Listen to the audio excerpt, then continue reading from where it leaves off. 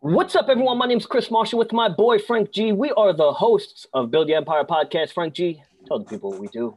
What's going on, everybody? Chris and I, we discuss established empires while showcasing us building ours. Frank G, What's up, my man? how you doing today? Today I am I'm good. A little a little overwhelmed with work, but I'm good. You know, we keep it moving. We said uh we manage our time and we just get it done. Certainly a lot to do. I hear you, and I want to get into that. You know, I figured, you know, every couple of months, every couple of weeks for the listeners in the show, shout out friends, we give a an insider scoop of, I guess, our lives and and what is going on personally with us. So, you, you're flustered, you're overwhelmed. I mean, tell the people exactly why. What's going on? What's going on in Frank G's mind? What's going on in Frank G's life? Frank G's life. Well, you know, we did just come back from a trip and uh partial partial of the trip we uh had problems, but the rest of the trip was excellent. And then we come back. You're I'm getting back into my life. Let me let me story tell my life. First of all, I was there. hundred percent you were, man. I'm glad you were. I have my story as well. Um, Yeah, you were there. but I'm in a transitioning period right now at work, so I'm trying of a new position. So I'm trying to get the handle of it, trying to get IT to give me my damn laptop and pretty much the u- utensils to actually do my work. Um, Would you call them utensils or resources? I mean, uh, it's I guess similar. Because when It- I hear utensils, I'm thinking a fork and a knife. Like, are you, you getting ready to eat? Well, I got to do this work to eat, so then I guess it work. It makes sense. I understand. I understand. I wasn't judging. I was questioning. I could see the question at hand. Uh, but yeah, you know, just things with a new role, taking on double the work, Well, you know what we call that? expanding. A level up. Yes, sir. I mean, Yes, you got to level up. Every lesson, every failure, every experience is a level up. You don't know when you're going to level up, though. It could be tomorrow, it could be in six months, could be in 18 months. But expect to level up. Yeah, you always got to keep uh, evolving, right? I mean, can't be can't be content and can't be stationary. complacent. I mean, we say often that complacency is almost like the devil. Uh, there's tons and tons of people who get complacent, whether you're working at a, a bank job and it's as a teller or or just at like a Target or a Home Depot, whatever the fuck it is. Um, you know, people, which that's fine. You know, if you're cool with that lifestyle of, you know, just working Monday through Friday and then come in and having a couple of beers and watching the game and, you know, fading out, ain't nothing wrong with that. But you can't do you have the right to kind of ask for more do you know what i'm saying You can well, that depends on what you're asking, and it, is it related to a salary increase? Are you doing more work? Are you performing at a rate that is helping the company tremendously? Then yes, you can ask for more. yes but we know the demographic which we're speaking of right now which is majority of americans who they don't develop the education to expand their mind to add the skill set to have the value to request the pay increase or feel confident enough to even do so they just feel somewhat entitled Well, that that is a a mind a a, mindset different- problem. Yep. Yeah, yeah. Correct. um, so obviously, with new things, new levels comes potential stress with new roles and whatnot. So I could see almost people being content and not moving to avoid those things. However, that is not a good image in my head. So I will take on these new things and just you know, I mean, obviously, anything new you could suck at, right? So You- it just you takes will time. probably suck at it Yeah. And even if you're good at it, you're nowhere near to the potential. yeah the, i mean it takes time it takes consistency experience so yeah i mean to those people who are content and it works for you good for you uh, those people that want to level up and maybe you're experiencing some anxiety with a lot of increased roles just keep going you know set a time management table really that's what i did today That's probably the response to a lot of people. I mean, I'm currently seeing a girl right now who has anxiety to potentially go on interviews, whatever, right? And we've had that. Now mm-hmm. that's that's interesting because because ha you know it's hard to play the game if you're in a, a game in your own head. Well, yeah, I mean, and now we're talking through problems of working out your own, your own uh, ability to deal with these things. That I guess resiliency. Well, I mean, it's the same as anyone who's complacent, who wants to level up but feels that there's a block, right? I mean, it's ultimately why we have a platform or try to even build one to showcase our journey of building an empire. Yeah, I mean, I would say a lot of those people probably see um, failure, or they're they're they're probably looking at an outcome, and if they aren't reaching it in their head or they can't reach it easily, they're then it's causing more problems in their brain, and they're getting all jumbled up. So I could see that being a so, problem. I love having goals. I don't like timetables on goals. And that's kind of counterintuitive with a lot of advice of people who speak about goals give. I just feel like if you put a timetable on a goal, you're you, you're potentially putting a failure date. Well, yeah, I mean it's good to have a deadline, but you also need to be aware that that deadline can certainly change. Um, I mean, you have no idea if you're going to something new, you don't know what's going to happen. So you need to give yourself that space, that time to ch- you you definitely need to pivot from that end goal potentially. I mean, you set a goal to read 10 books in a year and you get 7. That's a win. That's a win. That's, That's a, win. win. Yeah. Yes. So it's almost like you you need to measure your goal in some uh form or facet like mathematically, right? But to put an end time limit of measurement I feel like is not necessarily a good thing. Yeah, no, because is there really an end? I mean, once you hit that point, there's always room to grow more. There's always something else you got to do to perfect what you your goal was. I mean, if it's as simple as cooking five meals, I mean, that probably should be set. But if you're learning a skill, I don't know if there's really a timetable. Huh. Yeah, I mean, before you know it, we're going to be in 2022.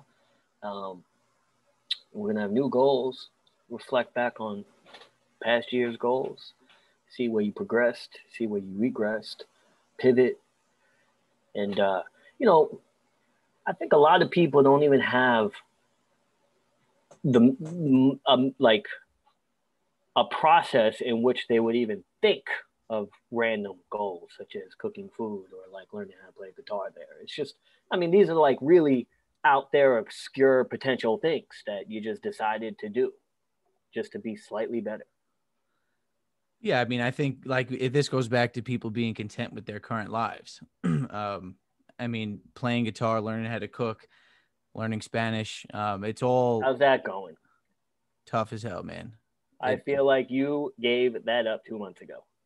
No, it's been uh so I have an app that tells me how long it's been and it has been 22 days since I've been on it. So a month. About, yeah, about. Um, so there's been 7 months of the year. One month you didn't. You got to hop on that, bro. You're, you're you're going to the city now. You're commuting? Man, you should be playing that Rosetta Stone in your ears all day. Now, Rosetta Stone, I mean, it is an investment in yourself, but that shit is expensive. I believe it's around $400. And it's also just someone speaking in your ear. It is very hard to learn anything like that. Yeah. If someone was like computer, el compute, that's difficult to learn. I feel like that it's, would. It's not difficult to learn, it's difficult to memorize. So, like, you typically need someone to communicate back with you um, you need interaction. That's why the fastest way to learn is to just put yourself in the middle of a Spanish country for four months, and you come back. That's your that's your second language. You trying to uh, take the show abroad? Well, we did try and record an episode, not abroad, but somewhere in the states, and it didn't work out. New Orleans, that was terrible. We were partying. We were in a we were in a loud bar, outdoor bar area, and we were legit with our a, awkward friend Tommy. oh man, we put a phone like five feet from us, thinking we would get any content. I tell you, we sure got content. Um, whether it was consumed or not. You really have to dig on the internet to find that. Um, so we went to Miami. Miami was a uh, an interesting time, and then we uh, we went from Miami to Atlanta. I tell you that that was a very interesting trip. Miami or Atlanta or all the above? All the above. Yeah, like I said earlier before you you got mad at me for telling your story. Miami had its downs and Atlanta had its ups. Now, yeah, so you know, it's it's interesting. It's like how much do you enclose here, right? But at the same time, there's nothing to be ashamed and to be semi-transparent, which the transparency is that I was arrested for $20 worth of weed and was in jail, quote unquote, pretty much prison for about 24 hours, getting deeper and deeper to the point where I had one phone call to call my good friend Frank G here. what a what a moment that was when I hear the words, this is my last free phone call for the week. For the entire week. And there was seven more days or I mean there was six days and like 18 hours left of the of that seven day period. So the whole process was just absolute nuts. And the irony is, you know, we have a nice room, two bedroom, two bathroom suite. We had plans that night. Everything was set, ready in stone. And then, boom, just like that, everything changed. Um, mindset changed, physically, mentally changed, emotionally changed, financially changed. Uh, experience just, you know, I, I can't even explain what the fuck I went through on, on your side. It had to be pretty wild as well because I can't communicate with you for most of the day. Yeah, I'm out here taking Ubers back and forth to uh your location, which trying is to, worthless. Yeah, I felt like I was a, a frantic mom in the moment, trying to yeah. make sure trying to make sure my boy had money to call me. And you know, it's fitting if you're catching me on video right now, because when the judge saw what I was in there for, she laughed and said, New York, it's legal. Why did you come down here? And then released me on zero zero bond, in which they tried getting you and me to pay them 6500 to get out of jail in which I shouldn't really be in there in the first place. I was just I was set up in a crossfire. It was it sucked. Yeah, that certainly was like a wrong place, wrong time, or just the wrong time kind of thing. And uh, it, it shows you really have no idea what could happen. Um, you could prepare for a million things, and then that million and first thing is the thing that happens. So it's just like getting punched in the face, having a game plan, getting punched in the face, and then losing all sense of where you are. It's crazy because, as crazy as that moment was, outside of the first time that happened, which was pretty much similar, those have been the only crazy moments really in my life, which is kind of fortunate, right? Like, you know, no crazy car crashes, no, I haven't seen any deaths or anything. Like, from a traumatizing standpoint, people are like, that is pretty horrific. It wasn't so bad, but it certainly was pretty bad. However, you can envision jail or a block on the Discovery Channel is pretty much what you get. Yeah, I mean, to be honest, Florida is certainly different than other places. Um, they seem to take it pretty pretty serious in Miami, even if it's something super minor. Um, now, if I was the judge, I certainly would have been like, "Why'd you bring this guy here? What is wrong with you?" Yeah, they wasted a day of my time. No sleep, no shower. Did not eat their food. No poops. No poops. Meanwhile, we you know we checked into our room at like 4:30 and I was in jail by 8:30. We had the flight within two two days to go to Atlanta, and we're sitting there like on our last phone call. Are we gonna make this? yeah. So that was another thing. Are we are we gonna make our flight Saturday morning to Atlanta? So that was another part of like, okay, if this doesn't happen, now we need a plan. So we need to make sure. Which is why good. you were my last call.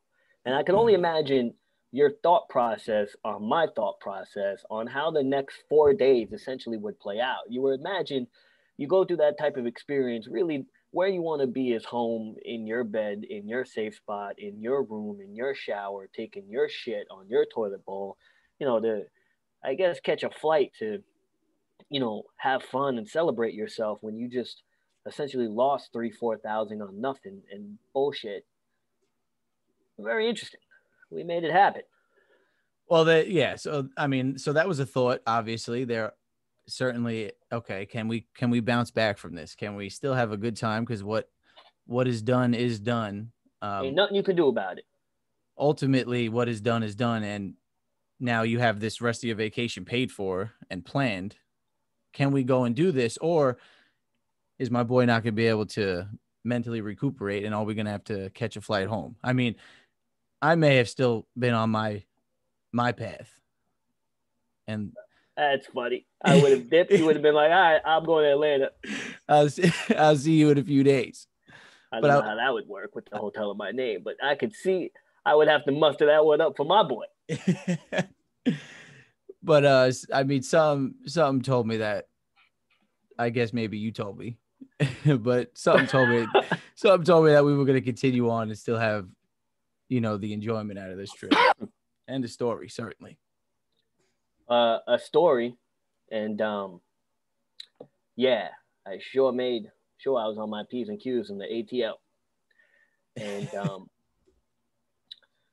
yeah, you know it's funny because before we have these type trips, we talk about you know our mushy rules and moments and memories and uh, just wondering what the memory is going to be before we go and then like how it's going to be afterwards and then it finally happens and you can look at the before middle and end here and you're just like, holy shit, what fucking lessons did I learn there? Well, what lessons did you learn? Don't buy weed from a stranger in the middle of Miami. but like that guy, man, in all fairness, he did give me it where I was like, I don't want this. You're a good salesman for having me to take this. It was like a, a strange situation in which we never really wanted to be a part of it. Yeah, that's that's all wrong place, wrong time kind of thing. I mean, yeah. Um man, that was annoying. The people in Miami who residents of Miami do say they nowadays, man, they avoid that area. They it's it's gone to to shit, to be honest, they've said. And we are talking about South Beach, so Ocean Drive, Collins Ave. Um, it, it really is not the best area. Um, you know, I used to always feel felt like Miami was my adopted second city. I tell you, you spend some time in Miami Dade County jail. You don't want to go back. I don't want to go back. Man, so you know, I, I, obviously told you this, and this is what I found um, fascinating uh, while I was on the block, in the block, doing time, doing time. Is you know obviously there's people with you and like you have your yard time and like you could be chilling in the yard and you know everyone i guess is not fearful. Your boy is he's not not fearful but he's sure is unsure you got to be aware you have to be uh, aware yeah, of all of your surroundings everything but you know i'm essentially with a bunch of drug dealers because that's what I, that's uh, what I got in for, right? Yeah, yeah. So uh, weed is a quote unquote drug charge. Yeah. So I did at one point insert myself in a conversation to have a voice and actually communicate with these individuals because I can see the divide between, you know, correction officer, police, and these inmates. And I, I can, it's, it's so unfair and um, like nobody cares. It's just a system. It really, it really is. And I was trying to tell these guys, now, mind you, I'm, I'm really the only Caucasian, right? Mm-hmm. And these guys have similar traits that we do. They're hustlers, right? But like they know how to make money, they know how to sell, they can read people's reactions, body language. Like I was trying to tell them, and I'm like now forming a crowd. People are like giving me their ears.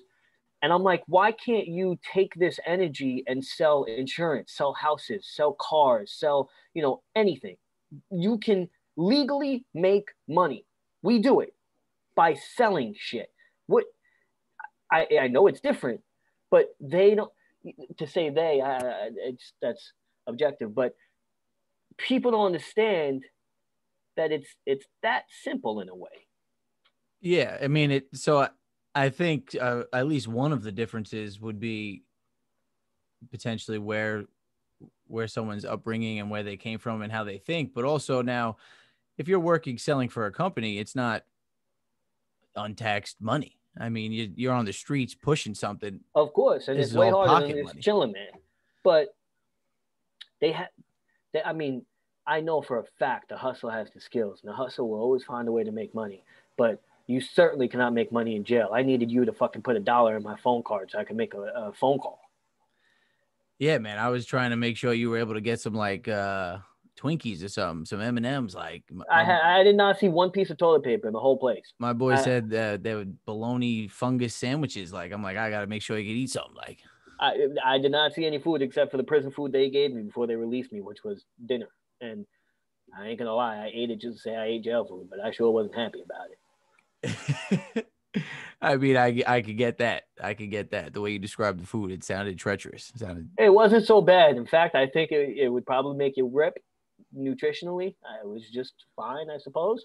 You just gotta get in your dips, which people would really get in those dips. That's a real thing. That's a real thing. Yeah, some people get brolic in jail. I just really never, I never understood the people who get like fat in jail. Well, I guess, I guess you. Well, I guess they have maintained their weight somehow. I guess they don't do the exercise and dips, they don't do the push-ups, and then they eat the snacks because the food's trash. I don't know. I didn't necessarily see a snack room. Well, that's because you were in the beginning process. You yeah, weren't... yeah, I'm sure there was more. I mean, I saw the little TV room. I saw the ba- I saw the basketball court with no basketball. I saw, uh, I saw everything. I guess the little cafeteria room. It was. I tell you, if there's one thing that I could fix within this system, just one thing that's like probable, is like make the bathrooms decent. Well, that's so. Other than the showers, the bathroom is like one of the most common areas for like a, a stabbing or a, a like jumping to happen. So like you probably, you probably yeah. There's no cameras, so you probably want that to not be that nice, so you spend the least amount of time in there. But also, it's pretty inhumane. That's that's what it that's what it was. I mean, the whole the whole thing is inhumane, and you're out here, you know, thinking you know what you what I do, everything I do, and you know shit I generate and the passions and the goals. It, it, was just it was just a bizarre place to be in. To think that if I had to shit, which right before my release, I finally took my shit, and they were like waiting on me. They're like, "Where's Chris Marshall? We're leaving." He's like, "Oh, you taking a shit in the back?" And fucking cop is knocking the door. Imagine they left without you. And they weren't leaving without. um, wasn't like, letting that happen in your cell, like there was no toilet paper. So if I had to shit, realistically, I would have had to like use water from the sink and wipe it with my hand and like was like there it, soap? There was bro, it there was soap as if you used it for a hundred days. And then you had that piece of soap. Uh it was a bar or like watered down like from a like it a was bottle? a bar, but it was like Ugh that's it disgusting, it, bro. Because that ball has accumulated disgusting amount of like nasty shit. Bro, I couldn't even. And the irony is, you're doing your thing, probably nervous and curious about your boy. At least you were in a nice ass suite. I was in a nice suite. Um, I mean, I I, I walked on the beach, clear my head, smoke a cigar, trying to I mean, what can you do but wait for a phone call? So, you know, I get a couple of them. I think maybe it was three. And then the last one was like, well, these ain't coming no more. they were not coming no more. But ultimately, we knew it was either you're out that day or you're three out four days later. Three or four days later. So, three or four days later would have messed up the trip. We wouldn't have been able well, to go to Atlanta. It, it wouldn't have because I would have paid the 6500 to get out that day. Would you pay sixty five hundred to get out three days earlier in that in that environment? four days earlier. Of I mean, course. Yeah, that's what It I said- was thinking. You you said you couldn't take a shit. You can't not take a shit for four days, five days now. Eventually, you. I mean, I couldn't wait the last minute. I went. so, second he smelled freedom, his butthole fucking opened up. you smell that? You whiff that, man? I mean, I bet I could imagine you, celly, just being like, "Bro, you really gonna take a shit right here next to me?" I. I mean, that's probably common. I got lucky. It has to be. My celly, uh, he was released as soon. He bonded himself out as soon as he got in. So I didn't have a cellmate. But if I stayed for like another day or two, they probably would have just brought one in. It's Chris. It's John Marcus. I was certainly on the way to get get you some money, though. Certainly on the way to get you out of there. Mm, Yeah, I appreciate that. I appreciate that. I mean, six thousand five hundred dollars just to just to dip out of an environment. Uh, so, if you wonder how much freedom is worth, certainly six thousand five hundred. Yeah, at least. yeah. It, now, because there was no question, I was like, run. I was gonna run to the bank, but if now if it was sixty five thousand, that's different. I mean, now you're talking about some serious shit, but like, I, I don't even, I don't even have that in one account where like, I mean, I don't even have a credit limit. I was just gonna say that. much. I was just gonna say I, don't, I can't even put it on a credit card. Yeah, my credit limit. I have two credit cards. My credit limit between them both, one is like thirty-eight thousand, I believe, and the other is like maybe like twelve.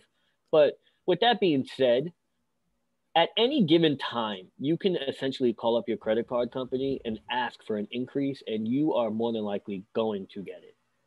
Yeah, as long as your credit isn't in the gutter. Yeah, but what's gutter credit? I would say gutter credit is like below six forty. I was gonna say five six hundred. Now that's now when I say gutter, that that's not gutter. Gutter is probably like four fifty. That's no five fifty is gutter, kid. but you could come back easily, I think, or not. Maybe not easily, but there's a plan that isn't like long term. Five fifty. Four hundred is like, ooh, you're halfway from an excellent credit score. Well, what is a credit score? What's an excellent credit That- score? Well, ex- I think excellent is seven eighty. Hmm. You got real technical. Yeah, yeah, that's probably right. Yeah, I mean, yeah, I mean, I'm hanging around 800 and I'm like pissed I can't get to 802. Nah, nah. They, I mean, 850s max, and you'll hardly get there. You you need more debt, ironically, to increase your credit. Yeah. Be like past 800.